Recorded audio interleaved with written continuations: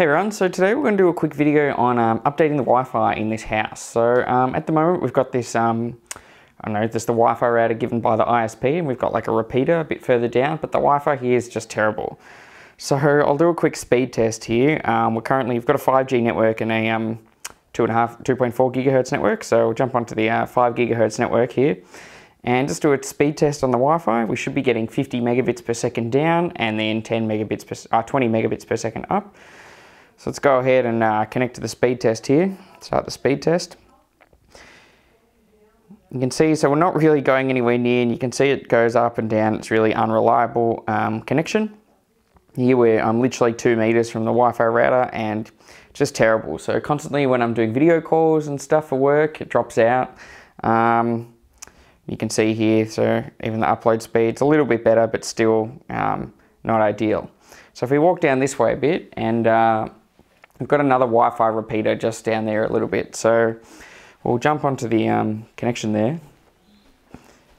And here we go, we're on the same 5 gigahertz network, but this time it's for the um, repeater.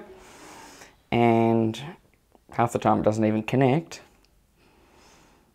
Um, so you can see the problem here with um, jumping onto the Wi-Fi. Let's do another speed test.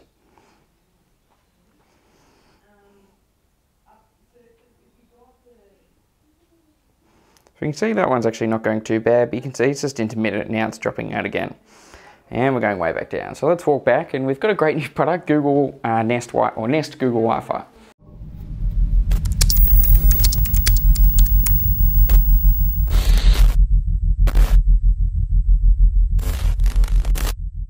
So I've got it here, you basically get a, um, a Wi-Fi router and then a point as well, and it's $399 here in Australia, uh, just from uh, local retail. So we'll go ahead and jump into this box and do I have some keys? Yeah. So we'll just basically go through setting this up, do some speed tests afterwards. Um, we shouldn't need the two different Wi-Fi networks. It should just seamlessly jump um, your device between the two different Wi-Fi um, connections without actually having to manually go into your Wi-Fi settings and changing the um, which Wi-Fi network it's connected to. Pretty excited to open this box. This just came out today, so uh, pretty cool stuff. So there we go, we've got the, uh, the router. So that's what connects to your um, internet connection there. We've got the ethernet ports to plug in um, the devices. And then we've got the, um, the point, so this will go halfway down the house and um, we'll use this to um, you know, boost the Wi-Fi and have a mesh across the house. This is also Google Assistant, so you can do the old um, the Google thing that you say. I won't say it, it won't trigger your own devices, but that lets you, you know, ask questions and stuff like that. Otherwise, in the box, we've got um, some literature. Let's get started. I probably actually need to have a look at that, so get that ready to go. Uh, they're all about respecting your privacy, supposedly. What else have we got here? Some more cardboard and the two power adapters. So that one's just a normal AC power adapter. Oh, they both are. So no USB-C here. Um, kind of would have been good to see, but I guess that's all right. Then what else have we got in here? We've got a, uh, what's this one? Ethernet, flat uh, Ethernet cable. And on the other side we have nothing. That's basically it that's in the box. Let's go ahead and get this uh, set up. We'll undo this clip. Kind of nicely clipped on there. And this one, I guess we can use this for um, cable management at some point. Oh, I can even get this off and get that one off. Cool, so we'll jump down, grab the router here, jump down here to where the, um, the Wi-Fi thingy is. So this box basically comes in from the street with coaxial, and then that's the NBN in Australia. In Australia, this is the uh, ISP provided router, but let's get rid of that. Um, let's keep this, and let's get all this set up before we um, turn off the Wi-Fi, I reckon, in this house. And can we plug in there? Come on. Oh, actually, maybe let's just unplug this Nest plug. We don't need that right now. Cool. And now let's plug in this one. So we're just going to go ahead and um, jump it in there. And we'll grab the uh, Ethernet cable. Actually, let's just let's just go ahead and do it. It's unplugged. This is coming straight from the NBN box here into this new um, into the got two ports there. One's just for linking to other devices. One's a globe for the internet. So let's plug that one in. Cool. And now that should all be on. We've got a little white light there. And it's all plugged in. Just put that in the ground. Let's get the app out uh, with my phone just here. So the app we need is the Google Home app. So let's open that up. Google Home. Let's try all that again. Set up device, set up new devices. Here. Cool, Nest Wi-Fi router, hit next. Camera permission, yep, that's fine. Let's scan the code on the device. So similar to a Nest camera, you just gotta um, scan that QR code. Pretty easy way of doing it. Boom, scanned. Now it's saying, do I want to join that Wi-Fi network? Let's go ahead and do yes. And cool, we're connected. That's a good start. Create a Wi-Fi name. Call it what it used to be called here.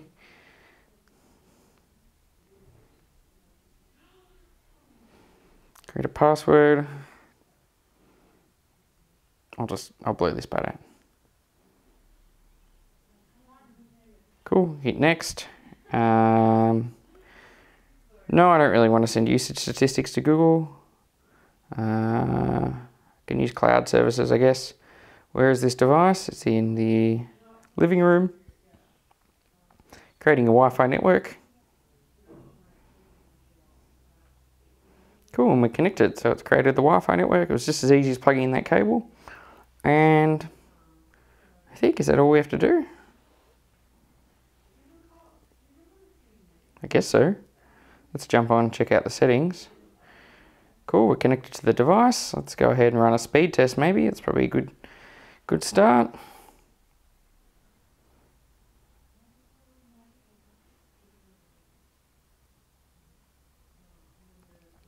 Already we can see the difference there. It's basically just jumped up consistently at 46. I'm actually blown away by this. So I didn't actually think it would be that pronounced as a change. But um, look at that. This is going to change my life. It's having this great internet speed consistently throughout the house. So even before we plug in the point, maybe let's just test this at a point because this is a um, pretty beefy antenna. So let's walk down to the other end of the house where we were before. You could see the uh, terrible internet speed we had there before. And we'll just unplug the repeater that we had so we don't get any interference or we don't connect to that. Still got three bars here of Wi-Fi on my um, device, my iPhone. Let's do another speed test. It's a little bit down, but still that's a lot higher than what we are getting before. So if it's topping, if it's bottoming out at 25 or 26, that's pretty great. And we're going to be adding another point in a second, so that'll help.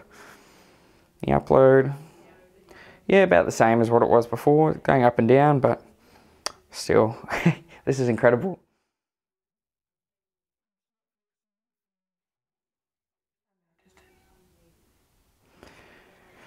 Cool, so that's pretty amazing. So let's get the point set up. So same kind of setup process. We've got um, QR code stuck there. Got the uh, another power cable, which is the same, which I'm probably going to struggle to get this clip off again.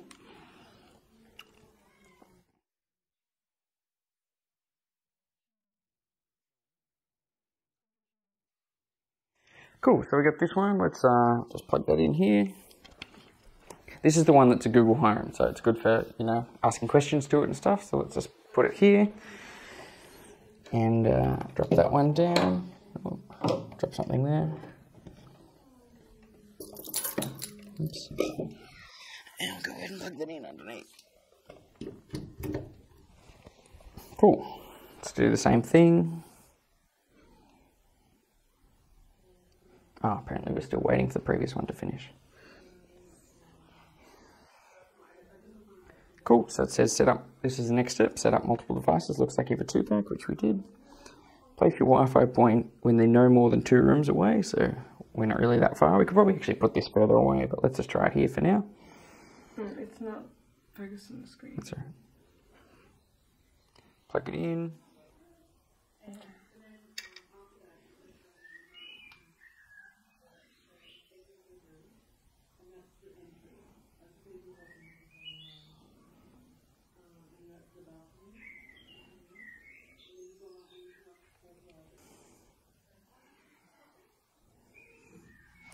Cool. Um, yeah, Google Assistant we have to set up as well because that's the one with the Google Assistant in it. Let's go ahead and do that.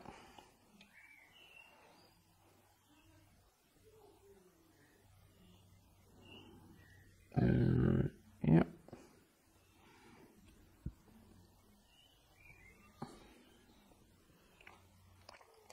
Voice match. Yeah, cool. I agree. Put in the address for this house. Set up all the services, video services, blah blah blah. Voice calls, yep, whatever. Oh, phone number. Oh, I don't want to set this. Skip now. Do you want to set up another device? No. Testing the mesh, connect, mesh connection. Cool. So now that we've set that up, we've got um just tells us where it's set up: living room, hall point, uh, the Wi-Fi password, and the username. Uh, sh- I'm your Google Assistant. I'm here to help. To learn a few things you can do, continue in the Google Home app. There you go. So it tells me all the things it can do. So if we go in the Google Home app, we can actually see the um, the thing set up. So we've got hall Wi-Fi and living room Wi-Fi. So let's have a look. This is living room Wi-Fi. So this the one we just set up there. You can set up a speed test or do a speed test. And not all the features are in the Google Home app. So I've also got the Google Wi-Fi app, which you can use to have a look at um, some of the more advanced settings. Let's have a look at this quickly. So this is going from that access point to do a speed test. So it's not from this device, it's actually from that um, access point. So this is a good indication of your internet speed, you know, to your house basically. Cool, and test complete. There you go, 41 megabits per second down, 17 up. That's kind of, we're paying for 50-20, so it's pretty close. Cool, um, in terms of settings, got uh, just a bit of information about everything about it. Here, can't really do too much more. We can also go onto the actual, um, to the uh, mesh point. This is the one that's a Google Home as well. We can do a mesh test, so the test between the two devices. This will give us a good indication of whether it's a good spot that we put it or not. Cool, mesh test complete. There's great connection, all right? Apparently that's all it gives us. Let's go into the uh, Google Wi-Fi app here. Yep. Might need to sign in. Oh, hang on. Just quickly sign in, y'all. Oh, here we go. Cool. So we're set up. Got the uh, Wi-Fi points here, and we're finding all nine devices on the network at the moment. So we can have a look at the Wi-Fi points. Got living room. See the test there. Uh, got a lot more settings. Restart network. Restarting to add Wi-Fi points.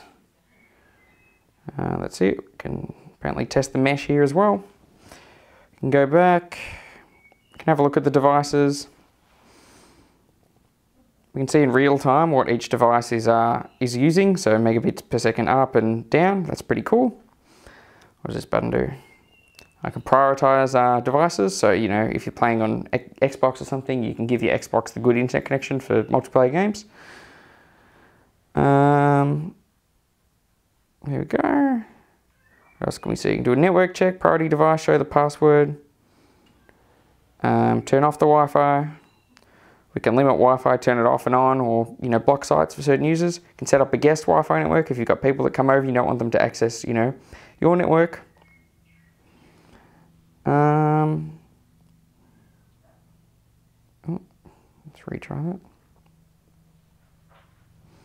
Cool, that's pretty good. You can see a history of all the different speed tests that we've done. It does one every two days on average anyway, so you can see how your, um, you know, your ISP is holding up. Look at usage as well, so um, current you know usage of the Wi-Fi network in terms of download and upload. See if someone's hogging up all the bandwidth. Cool, there we can pause Wi-Fi. Anyway, that's basically the uh, Google Wi-Fi app. So as you can see, the app was really cool. You get a lot of control and you can see all the different devices. But the main part and the great reason, um, the great thing about Nest Wi-Fi is we get really great internet um, access now all across the house. So really great spread. So Wi-Fi performance is what you want and it's what you're getting out of Google Nest Wi-Fi. So thanks for watching this uh, Technologetic video. Give this video a thumbs up if you enjoyed this, uh, this I know, run through and subscribe to Technologetic and also stay tuned for a, the ultimate home networking um, setup. But obviously that's not at this place, it'll be at another place, but it'll be really cool, so stay tuned for that.